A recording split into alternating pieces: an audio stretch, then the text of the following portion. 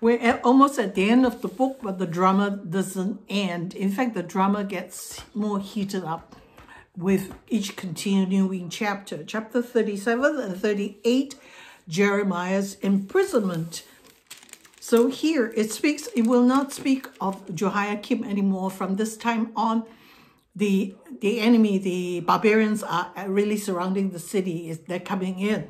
So 37 speaks of Zedekiah, Zedekiah the vacillating king. He was the, the puppet king put in by Nebuchadnezzar. Understand that he always owes his position and allegiance to Nebuchadnezzar, but at the same time, he's thinking that something will change. He's amassing an army and he wants to fight off Nebuchadnezzar. So here is, here is vacillating. So he sent word to Jeremiah, yeah, ask somebody, ask the prophet, has anything changed? Yeah, is there a word from God? that something will change.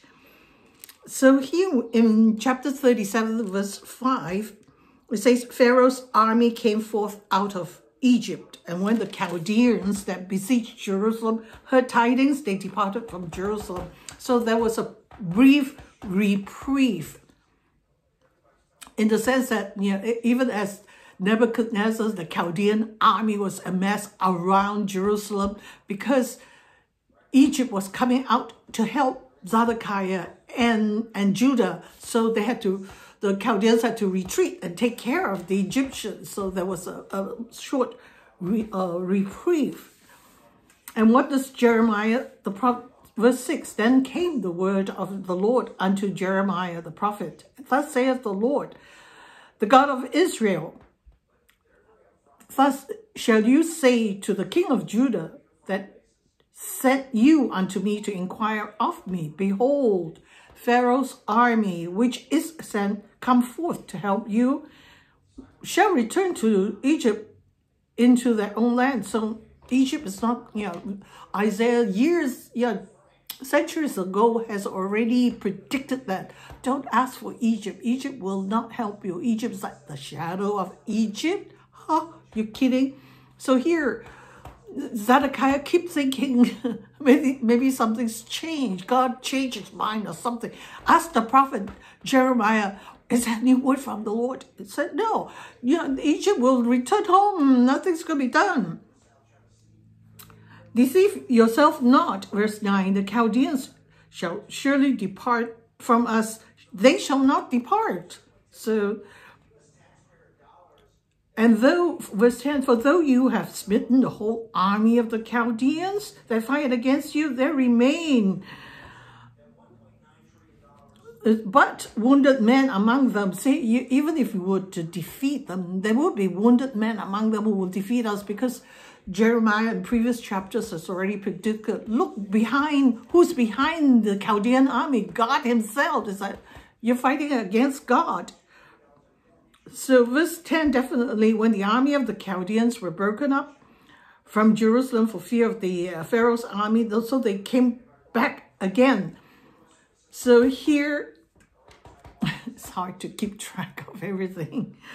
So here, what happens? The captain of, so uh, Jeremiah went, decided, I'm giving up. I'm going home to Anathoth. You know, it is in the city of Benjamin.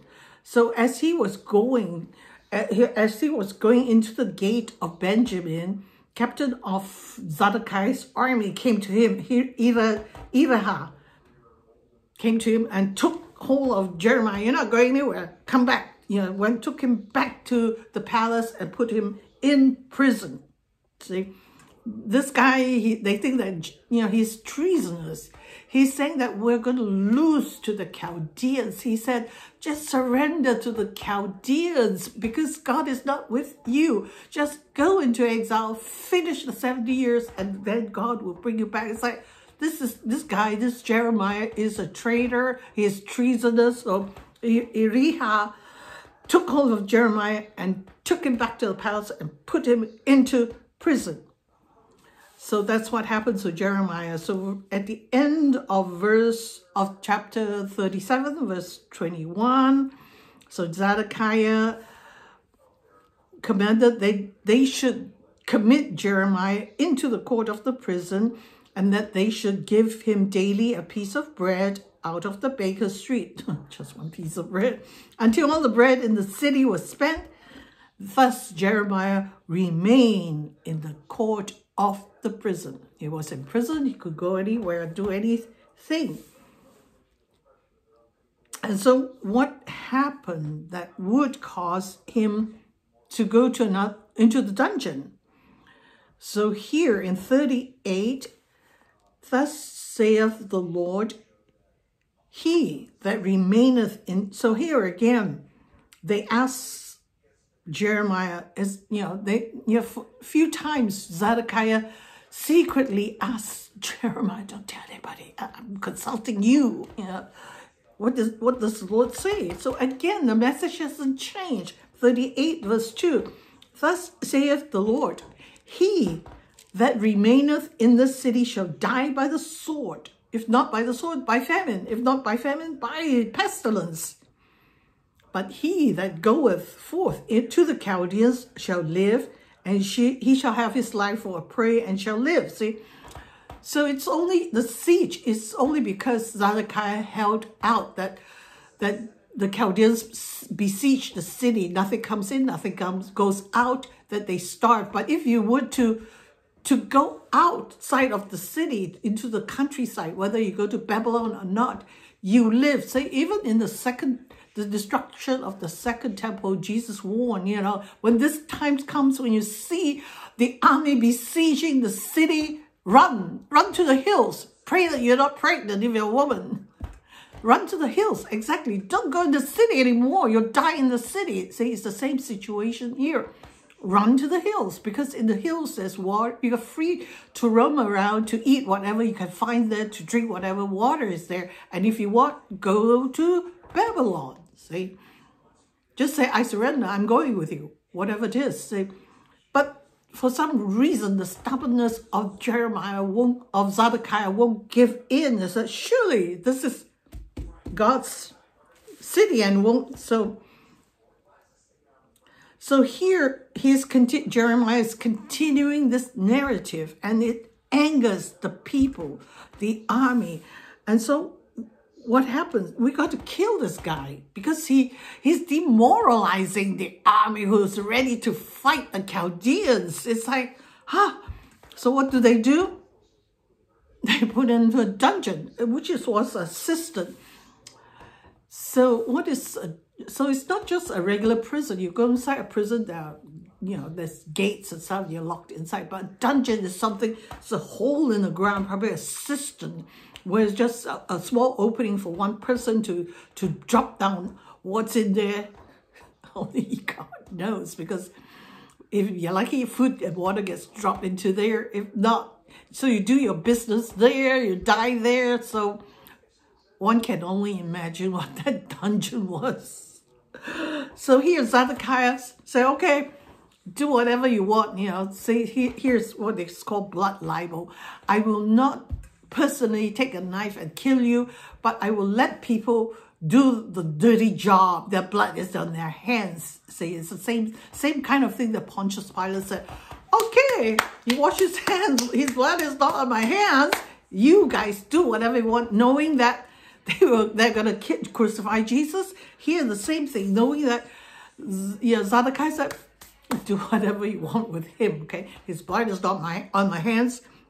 He will die there for sure. He will die there. Usually just chuck them in head first so they'll break their necks and die there, see. So it's like, so nobody's hands is dirty in the sense that they did not lift the, the, the sword or knife and, and, and, and shed blood, you know. And well, he fell there and died. That's how it's done. Maybe it's done here too. So here, well, for, for whatever reason, instead of chucking him in there where he's going to be half mired in miry mire, you know, God knows what that mire is. He's going to be, you know, you can't sleep, you can't lie down, you're just standing waist deep in muck. Muck is a nice word.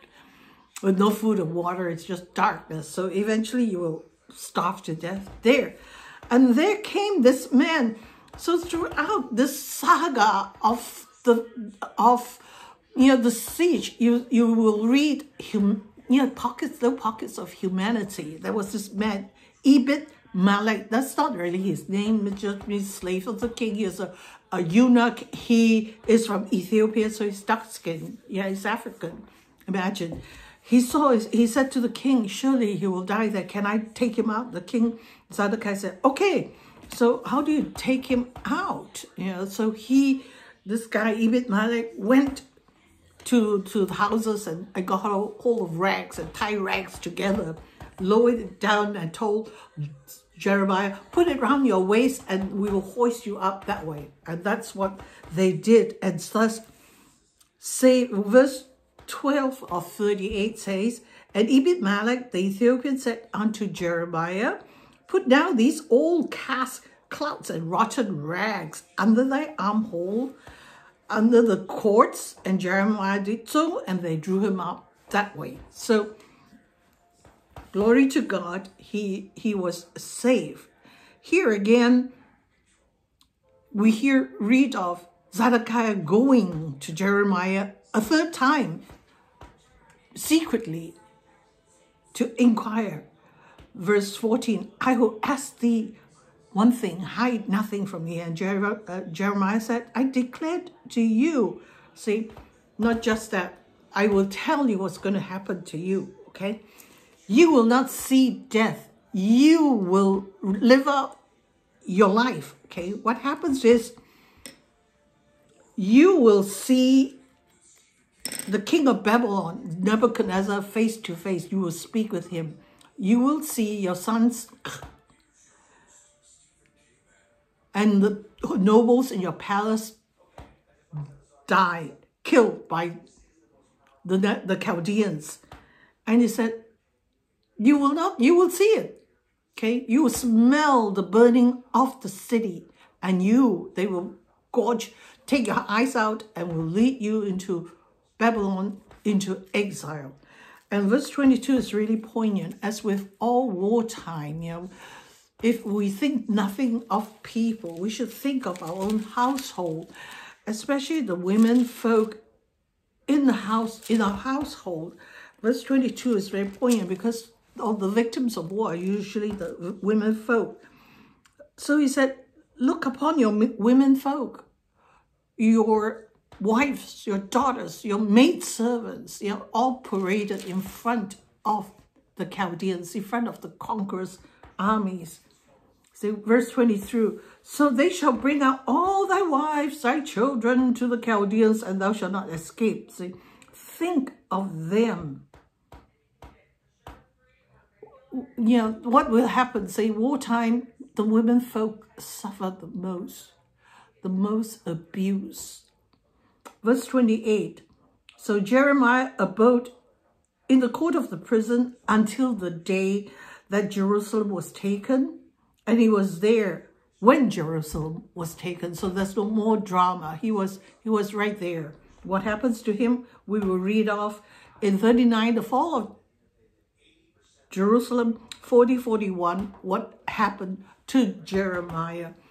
And, you know, it's a side note, during the Japanese war, in the Second World War in the Far East, in the rape of Nanking, the women folk of China were sport. They were raped and ravished. And then when they were done with them, they were used as for bay bayonet practice. And even, I think in Serbia war too, women folk were raped and, and ravaged. So the women folk suffer the most in wartime and not any different here in the siege of Jerusalem.